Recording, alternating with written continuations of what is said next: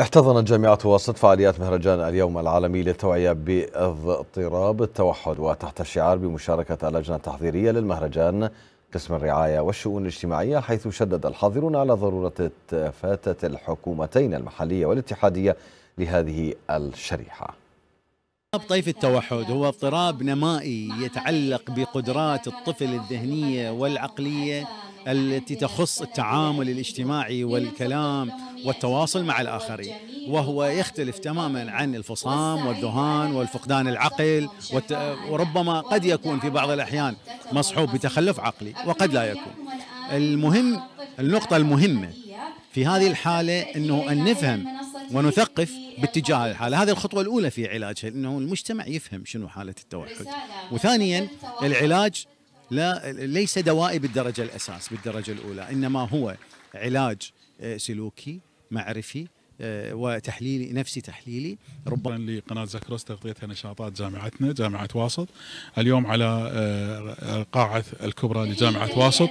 وفي كلية التربيه تقام ندوة لمعالجة وتشخيص المصابين بأمراض التوحد وكيفية التعامل معهم.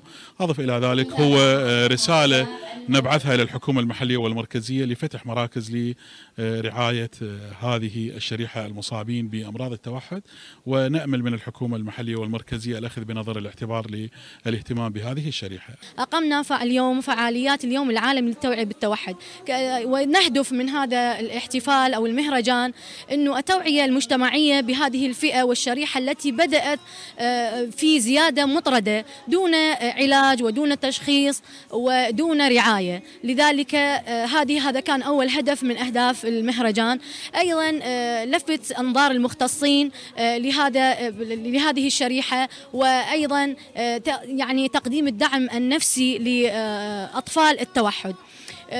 المهرجان يعني احتوى مثل ما حضراتكم.